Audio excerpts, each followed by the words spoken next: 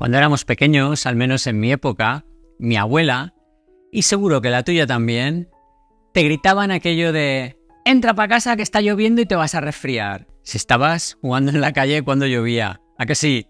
Puede que quieras saber qué hay de verdad en esta creencia popular con la que seguramente tú ya hayas atemorizado en alguna ocasión a tus hijos o incluso a tus nietos. Por eso quédate si quieres averiguar si debes evitar mojarte con la lluvia, porque realmente pueda resfriarte. Quédate porque ya ha llegado el otoño y con él la lluvia y el frío. Por eso, este programa también te interesa.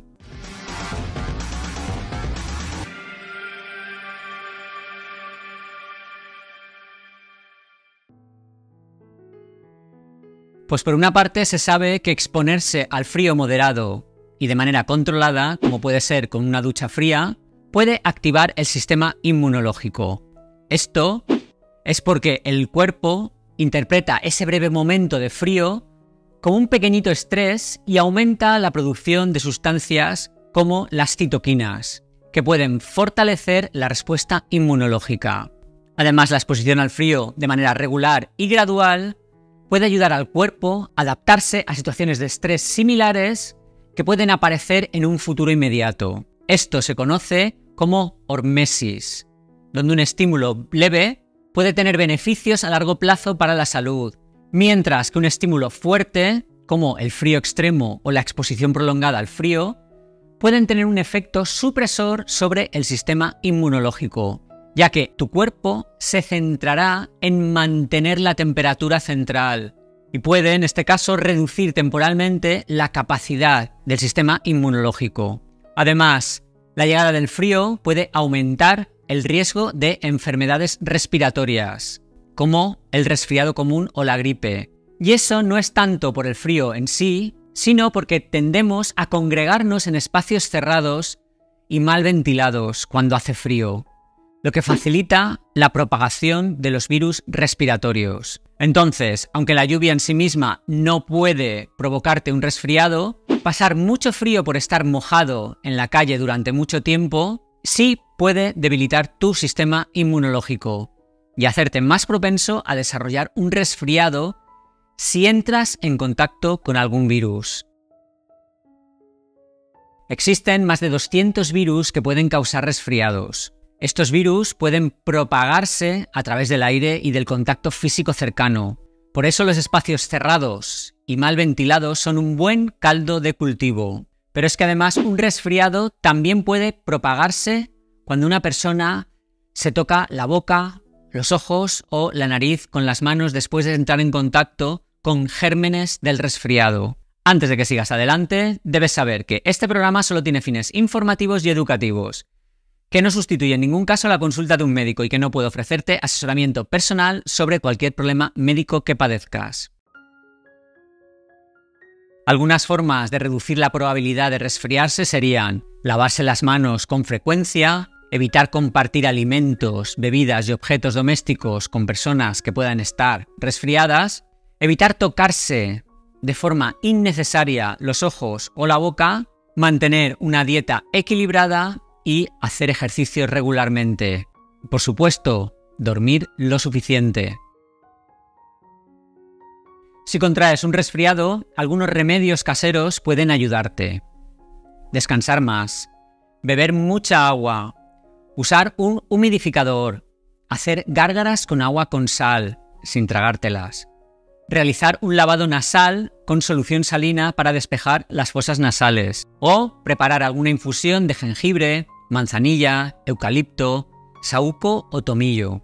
También encontraréis en la farmacia medicamentos de venta libre para el resfriado y la gripe, que pueden ayudar. No tenéis más que bajar a la farmacia, contarle los síntomas al farmacéutico o farmacéutica que os recomendará algún tratamiento para aliviar los síntomas, tanto de congestión nasal como dolores, fiebre o incluso la tos. Sigue sus instrucciones y si tienes alguna duda o inquietud sobre el uso de estos medicamentos, pues no dudes en preguntarles. Son profesionales de la salud y sabrán qué aconsejarte.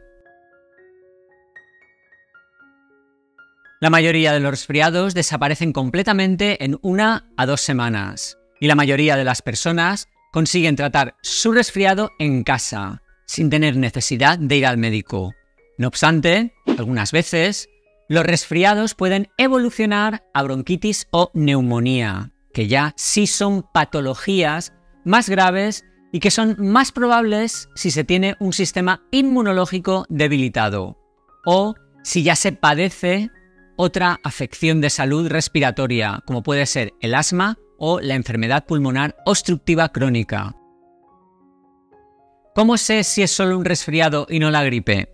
Hay una coincidencia considerable entre los síntomas del resfriado y la gripe, aunque por regla general los síntomas del resfriado suelen ser menos graves que los asociados con la gripe. Además, los resfriados por lo general no dan fiebre, si bien los síntomas de la gripe pueden incluir la pérdida del sentido del gusto y del olfato, esto también sucede en otras infecciones víricas, por lo que los maravillosos test que se venden en las farmacias son una excelente forma de diferenciarlos. Además, son muy baratos y te sacan de dudas. Pregunta en tu farmacia por estos test combinados de gripe A y gripe B y otros virus. Seguro que te informarán súper bien. ¿Cuándo debo ir al médico si tengo síntomas de resfriado? Ves al médico si tus síntomas persisten durante más de unas pocas semanas o empeoran de repente. Además deberás acudir al médico si tienes dificultad para respirar o mucha fiebre. Si padeces alguna enfermedad crónica desde hacía tiempo o si tienes un sistema inmunológico debilitado, quizás deberías hablar con tu médico cuando tengas síntomas de resfriado. ¿Con qué frecuencia se contraen los resfriados? De media, una persona adulta padece alrededor de dos o tres resfriados al año, y los niños, a menudo, algunos más. Hay más probabilidades de resfriarse en invierno o primavera, pero realmente puede ocurrir en cualquier época del año. Como veis, mojarse con la lluvia no significa que vayas a pillar uno de los virus que causan el resfriado. Sin embargo, si estás mojado y frío durante mucho, mucho tiempo, eso puede afectar negativamente a tu sistema inmunológico, lo que te hará más propenso a resfriarte. Si te resfrías, por lo general no hay motivo para alarmarse, en la mayoría de los casos. Habla con tu médico si los síntomas se vuelven graves, persisten durante más de unas pocas semanas o si tienes otras enfermedades crónicas que lo hagan conveniente. ¿Tu abuela o tu madre también te decían que no jugaras cuando llueve porque te constiparías? ¿Tomas duchas frías controladas para estimular el sistema inmunológico? Déjanos tu experiencia en la cajita de los comentarios y si lo haces con la frase La lluvia no resfría, eso lo hará muy especial para mí, pues sabré que me apoyas y que te quedaste hasta el final. Regálale un like al programa que es gratis y comenta. Y compártelo, ¿por qué no? Por WhatsApp o tu red social favorita. Lo más importante de todo es comentar. Porque comentando mucho, seguro que el algoritmo se motiva y se lo muestra a más gente. Y no te olvides, haz que cada día sea maravilloso e inolvidable. Para ti y para los que te rodean. Y aquí puedes suscribirte al canal completamente gratis. Y aquí puedes ver un vídeo sobre un truco para bajarle el índice glucémico al arroz. A mí me gusta correr bajo la lluvia, es muy estimulante.